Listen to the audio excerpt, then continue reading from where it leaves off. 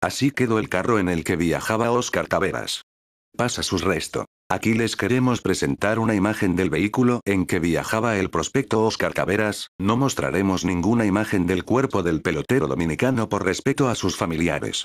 Como publicamos antes el joven murió en un accidente de tránsito en la carretera Jamao Cabarete en Puerto Plata en su país natal República Dominicana.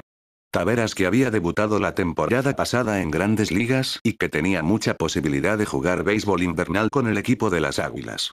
Pasa su alma y a la de su novia que también murió.